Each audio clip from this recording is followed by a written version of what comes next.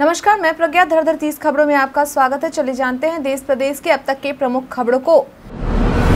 केंद्र सरकार के देश भर में सरकारी अधिकारियों की मदद से विकसित भारत संकल्प यात्रा निकालने की योजना कुछ राज्यों में खटाई में पड़ गई है। दरअसल, जिन पाँच राज्यों में जल्द ही विधानसभा चुनाव होने वाले हैं, वहाँ यात्रा निकालने पर रोक लगा दी गई है। बता दें कि इस यात्रा के तहत सरकारी अधिकारियों को हर ज़िले में रथ प्रभारी बनाया गया है, जिसे लेकर विपक्ष सरकार पर हमलावर है और केंद्र सरकार पर सरकारी मशीनरी का दुरुपयोग करने का आरोप लगा रहा है। साल 2023 में चेन्नई सुपर किंग्स को पांचवी बार आईपीएल का खिताब जिताने वाले एम एस धोनी नए सीज़न में खेलेंगे या नहीं, इस बात का संकेत उन्होंने एक कार्यक्रम के दौरान दिया।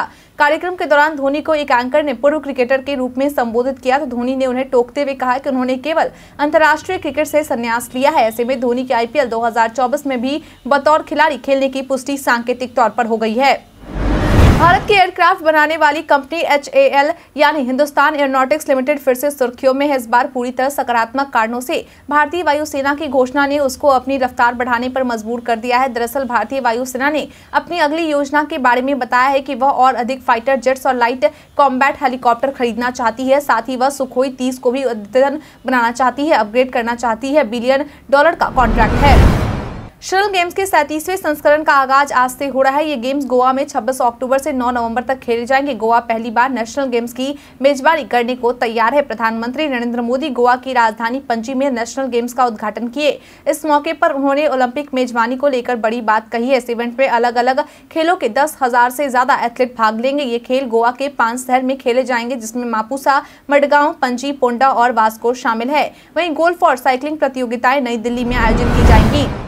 भारत ने फ्यूल सेक्टर में एक बड़ी कामयाबी हासिल की है। ऑयल कंपनियों को अब तक रेफरेंस फ्यूल के लिए विदेशी सरजमी की ओर मुँह ताकना पड़ता था। इस क्षेत्र में भारत ने पहली बार कामयाबी हासिल की है। खुद का प्रोडक्शन शुरू किया है। केंद्रीय ऑयल एंड नेचुरल गैस मंत्री हरदीप सिंह पुरी ने कहा कि यह बहुत ही ऐतिहासिक मौका है, जहाँ भारत दुनिया का चौथा देश इसका उत्पादन करेगा। भारत में पारादीप और पानीपत में इसका उत्पादन शुरू हो गया है। भारत में इंडियन ऑयल ने पहली बार रेफरेंस गैसोलीन और डीजल ईंधन का सफलतापूर्वक उत्पादन शुरू किया है। यह दो सौ लीटर के पैक में उपलब्ध होगा।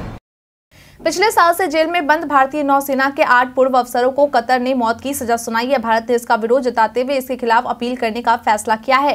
पूर्व नौसेना अधिकारी, जिन्हें पिछले साल अगस्त में इसराइल के लिए जासूसी करने के अघोषित आरोप में गिरफ़्तार किया गया था, ये इतालवी छोटी स्टिल्थ पनडुब्बियों यू टू आई टू की देखरेख के लिए एक कतरी फर्म के साथ काम कर रहे थे।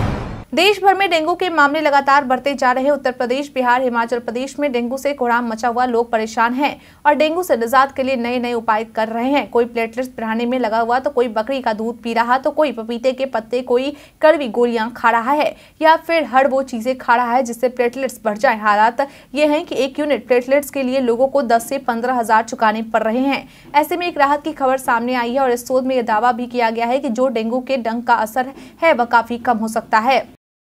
देश भर में प्याज की खुदरा कीमत में एक सप्ताह में ही सात रुपए प्रति किलोग्राम की बढ़ोतरी ने सरकार के कान खड़े कर दी है। पिछले एक सप्ताह से प्याज की कीमत लगातार बढ़ रही है। एक सप्ताह पहले जहाँ खुदरा मार्केट में प्याज तैतीस रुपए प्रति किलो मिल रहा था, वहीं 26 अक्टूबर को रेट बढ़कर औसतन चालीस रुपए प्रति किलोग्राम हो गया है। सरकार ने पहले भी प्याज के रेट बढ़ने से रोकने को कई कदम उठाए थे, लेकिन फिर भी प्याज की कीमत में बढ़ोतरी जारी है।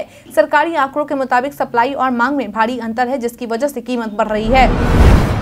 पिछले साल से कतर में हिरासत में रहे आठ पूर्व भारतीय नौसेना कर्मियों की मौत की सजा सुनाई गई इसके बाद वरिष्ठ नेता कपिल सिब्बल ने गुरुवार को प्रधानमंत्री नरेंद्र मोदी से हस्तक्षेप की मांग करते हुए कहा कि सरकार को उनकी रिहाई के लिए सभी विकल्प तलाशने चाहिए। कपिल सिब्बल ने अपने एक्स पर लिखा, हमारे विश्व गुरु पीएम मोदी को हस्तक्षेप करना चाहिए। कतर की एक अदालत ने आठ भारतीय पूर्व सेना अधिकारियों को मौत की सजा सुना दी। न आरोपों पर जवाब दे ठहराया गया है, जिन्हें कतर के अधिकारियों ने सार्वजनिक भी नहीं किया। हमारी सरकार को उनकी रिहाई के लिए सभी विकल्प तलाशने चाहिए।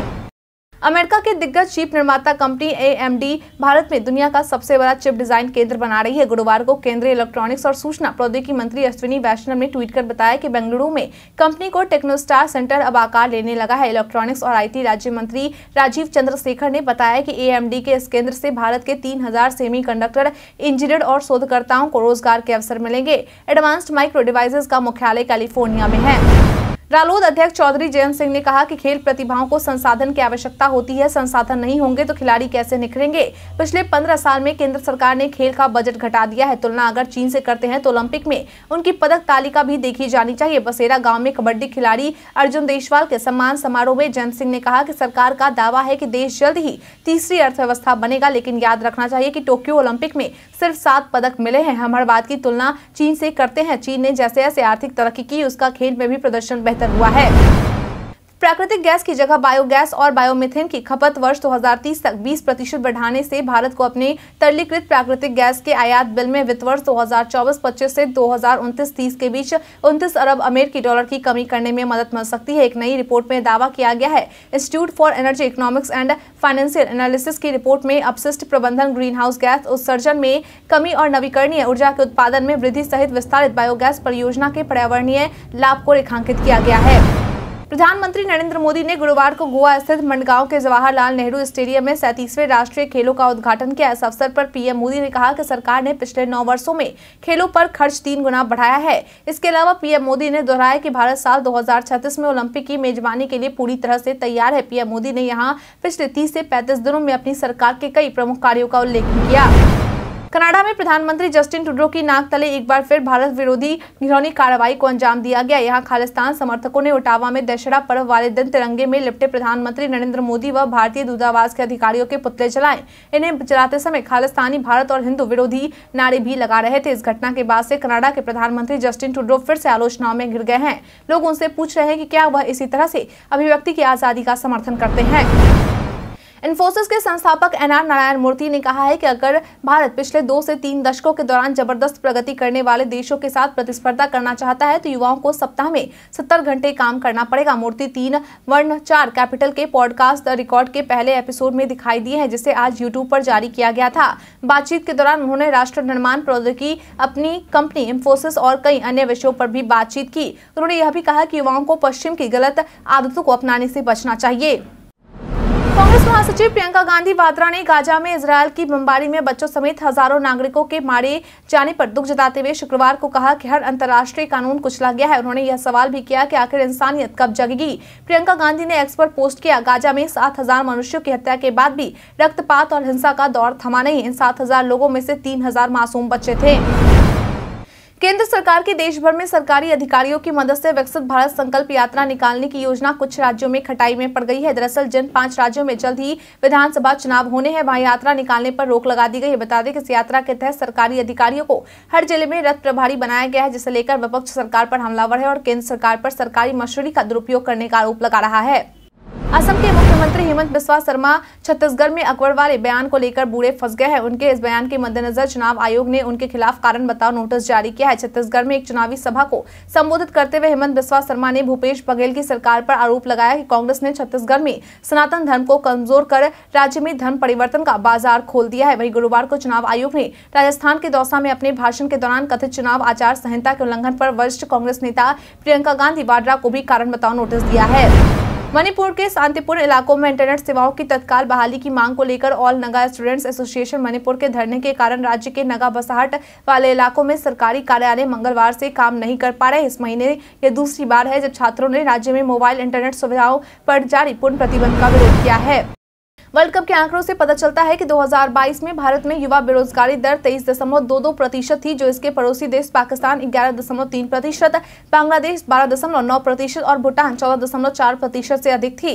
रिपोर्ट के मुताबिक उसी साल चीन में बेरोजगारी दर तेरह दशमलव दो प्रतिशत, सीरिया में बाईस दशमलव एक प्रतिशत, इंडोनेशिया में तेरह प्रतिशत, मलेशिया में ग्यारह दशमलव सात प्रतिशत, वियतनाम में सात दशमलव चार प्रतिशत, दक्षिण कोरिया में छह दशमलव नौ प्रतिशत और सिंगापुर में छह दशमलव एक प्रतिशत रही। यह डेटा अंतर्राष्ट्रीय श्रम संगठन से लिया गया है। एक रिपोर्ट में पता चला है कि 2021 में आईसीडी देशों की नागरिकता हासिल करने में सबसे अधिक संख्या भारतीयों की थी। आईसीडी की रिपोर्ट के अनुसार वर्ष 2021 में लगभग एक लाख भारतीय, अमेरिकी, ऑस्ट्रेलिया और कनाडा के नागरिक बने। जो देश से प्रवास करने वाले लोगों के लिए सबसे लोकप्रिय गंतव्य है। इसके अलावा ग्यारह से अधिक भारतीय, यूनाइटेड किंगडम का पासपोर्ट हासिल करने में सफल रहे। भारतीय रिज़र्व बैंक ने गुरुवार को बैंकों के लिए वित्तीय सेवाओं की आउटसोर्सिंग से जुड़े दिशा निर्देशों का नया ड्राफ्ट जारी किया है। इस ड्राफ्ट के मुताबिक आरबीआई के दायरे में आने वाले बैंकों और वित्तीय संस्थानों के लोन रिकवरी एजेंट अब कर्जदार को शाम सात बजे के बाद और सुबह आठ बजे से पहले संपर्क नहीं कर सकेंगे। इस ड्राफ्ट पर रिज़र्व बैंक ने सभी भागीदारों से अट्ठाईस नवंबर तक राय मांगी है। ड्राफ्ट में यह भी कहा गया है की बैंक एनबीएफसी मैनेजमेंट से जुड़े मुख्य फैसलों, पॉलिसी तैयार करने और लोन मंजूरी जैसे फैसलों के लिए आउटसोर्सिंग सेवा का इस्तेमाल नहीं कर सकेंगे।